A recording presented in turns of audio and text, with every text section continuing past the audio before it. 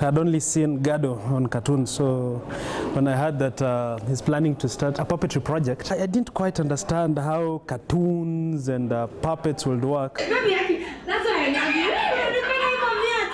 Initially, we thought we could do could do everything by ourselves and all that, and then I realized that we don't have the technology to produce the puppets and so forth. After the interview that I did with Gado, he showed me this little pilot that he had made for what would become the XYZ show.